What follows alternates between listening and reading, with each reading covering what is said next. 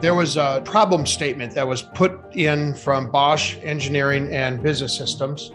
And it was specifically how can they accomplish capabilities with a blockchain for automotive supply chain. And what they were really looking for in the final analysis was auditing of the entire supply chain for the end customer, for the dealer, for the manufacturers, and all the way down for visibility into the raw material supplier uh, and ensure that it, the metal that was used in order to make the screw that's in the motor mount on your car complies with the specifications necessary for it to be in there, right? So, all of these things, which aren't really available today.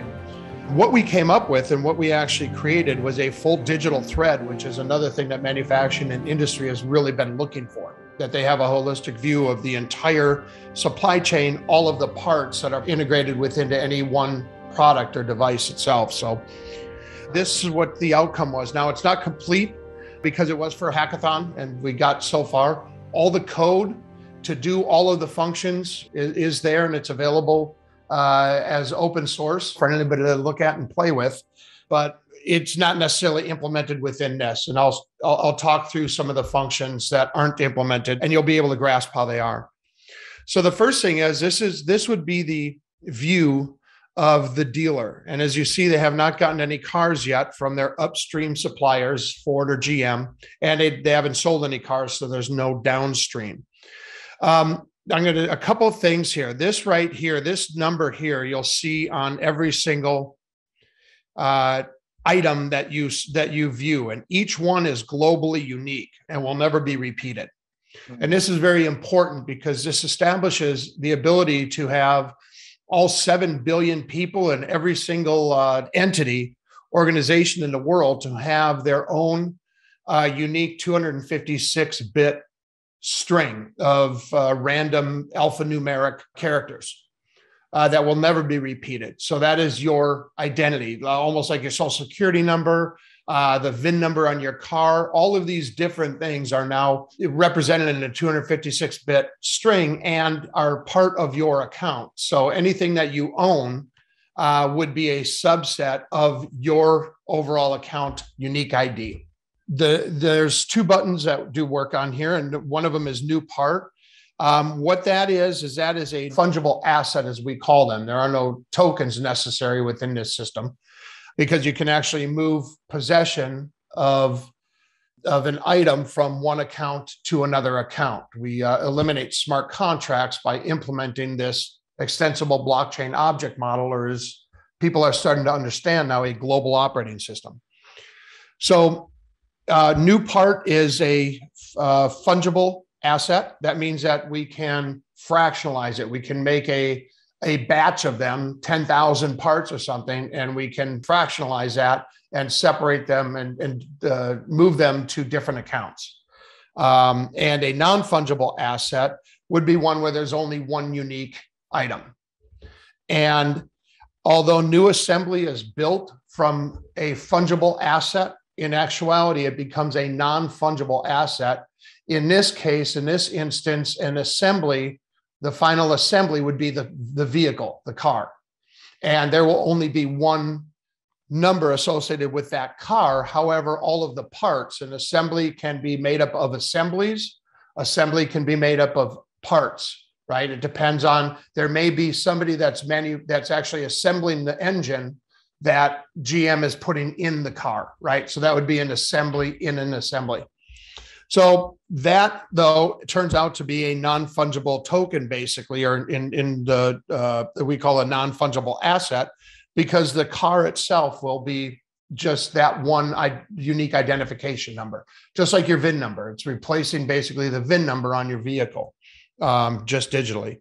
So I can go into any one of these different accounts, and as you see now, we're in Ford's again unique ID. Now we see a much more uh, a broader view because the upstream suppliers for Ford.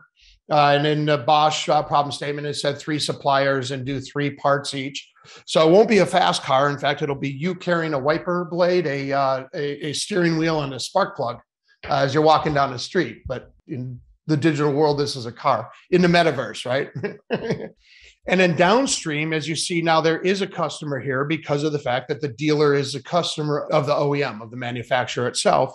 The dealer does not have any customers because they haven't bought a car from Ford yet and haven't moved it down.